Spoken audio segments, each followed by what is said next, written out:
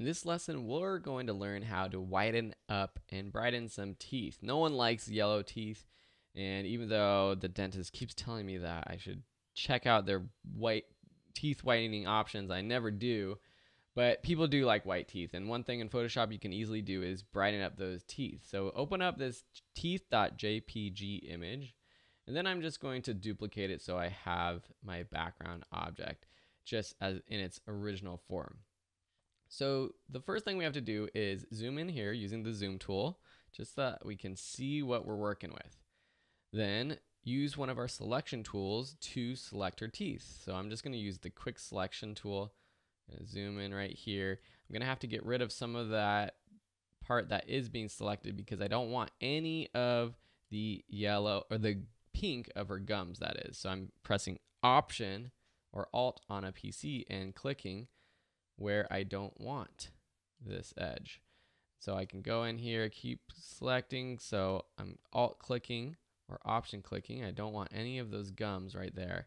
Make my brush a little bit smaller so it's a little bit more detailed. Make sure I get this little part over here on the left. And then I'm going to go into my select and mask tool. If this was with another version of Photoshop, this would be the refine edge tool.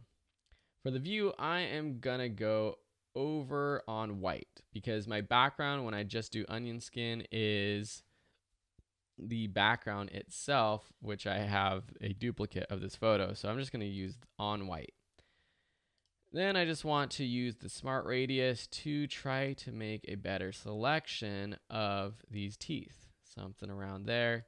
Maybe smooth it out a little bit. Maybe just add a little bit of feathering.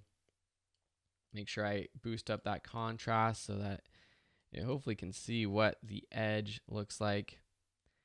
Then maybe shift the edge just in just a little bit.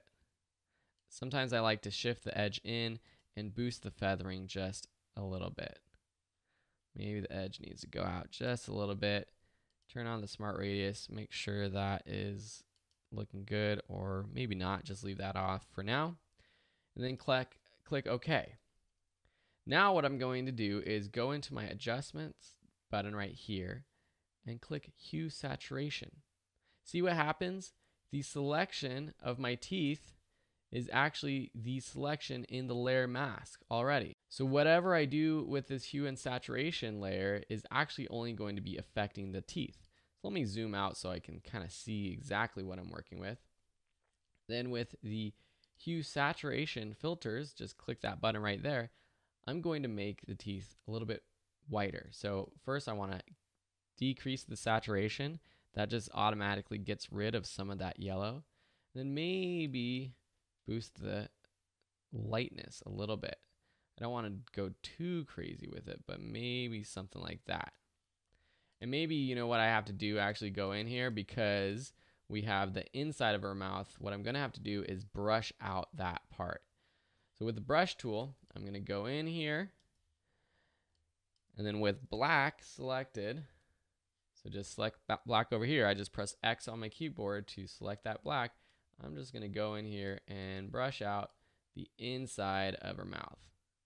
There's lots of different ways to do this. You could I've seen people actually whiten teeth just with a brush tool, just overlaying a little bit of white on teeth.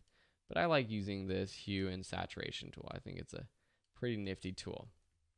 And if I wanted to just fix the eggs, edges, I can press X with my brush tool and just paint on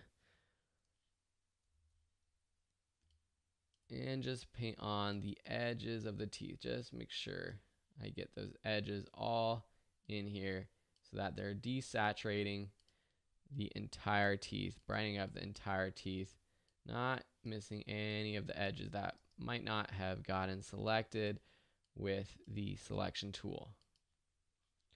And also maybe getting rid of some of the gums up here that are in there. You can tell with especially with this hue saturation when it gets into the gums it looks a little bit funny. When it's just on the teeth it doesn't look so bad but when it's on the gum it looks like there's like toothpaste residue or something like that. So now if we zoom out and we turn this on and off you can see what this does. Very cool effect, very easy to do. and it's something that you can use for a lot of your photos, especially if you're taking portraits. A lot of people uh, don't realize it, but their teeth are a little bit yellow just from eating and drinking and doing all kinds of things. So this can help. And remember, this is non destructive. So we can go back, we can change the settings if we think, oh, maybe we need to boost the saturation just a little bit because you can tell if I drop this down to no saturation and it's completely white, that just looks weird. So you might come back tomorrow or something and see, oh, wait, just a second. I don't want it to be that much, that strong. That's how you whiten teeth in Photoshop. I hope you enjoyed this lesson. And you can also do this for whitening eyes. So sometimes eyes, if you want to make a little bit brighter, maybe you don't want to use the hue saturation, but maybe a brightness and contrast or something like that. But that's one way to whiten the white, brighten the whites of the eyes. Thanks so much for watching, and we'll see you in the next lesson.